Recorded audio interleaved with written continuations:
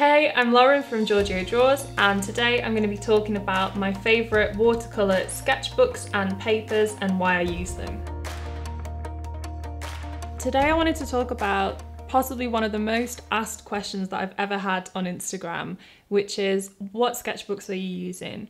The answer is that I've always used the same brand from Day Dot, um, from the first ever Instagram post that I did. I was using one of these a Pink Pig sketchbook. And I wanted something that was going to be easy to carry around with me. I wanted watercolor paper that was good quality and good texture, but something that I could also travel with. So I wanted a sketchbook. And I wasn't impressed with a lot of the sketchbook paper that is out there. It can be quite flimsy, it can bleed through. Uh, so I went on the lookout, had a hunt, and I found Pink Pig. So this is my all-time favourite sketchbook. This is their A5 Amelie watercolour paper. So it comes in two styles, uh, textures. So this is the matte and they also have, this is the textured version.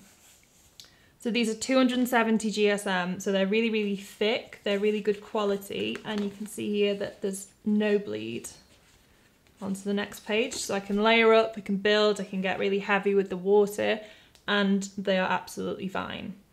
Now, Pink Pig are a British company and they make and manufacture all of their sketchbooks here in the UK. So I was really impressed with that because being UK myself, I thought, well, that's useful and it's nice to support someone who's here.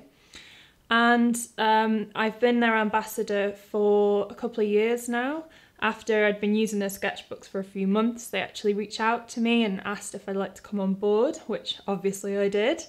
And we're still here two years later because I literally haven't found a better provider. I just think that their ethos for quality and dedication to what the artist actually needs is perfect and I couldn't fault them. Okay, so this is my favourite. This is the A5 Amelie, which we've just seen and discussed.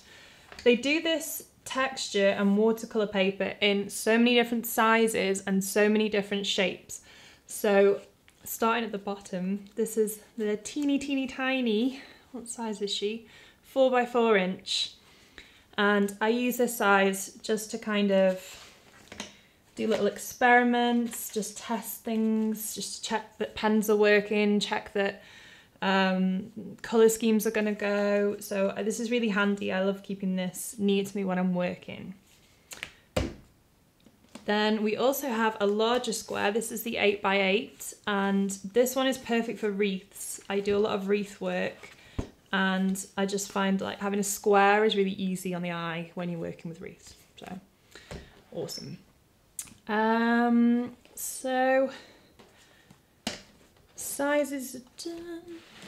So we also have a couple of others in the range that I use. Um, I don't use all of their sketchbooks because I found my favourite and I stick to it. But there is another type of paper that they do called Bockingford. This is slightly thicker. This is 300 GSM and you can see it's really, really textured. So if you liked the 270 GSM Amelie texture, but you wanted something even heavier, even better quality, that would be the one for you. They also do a sketchbook size called a Pigscape, and I think this is unique to them. And this is only available in more of a, a, a paper than a card, but this is also one of my most favourite sketchbooks for testing out layouts. So when I'm doing client work, I quite often have to plan out different options of how we're going to do things, different logo designs. And I find this long layout just, uh, it works so well because I can show the client all of the options in one. I'm not wasting really expensive paper. I can get more out of this sketchbook because there's more paper there. So I use that one a lot. That was another good go-to.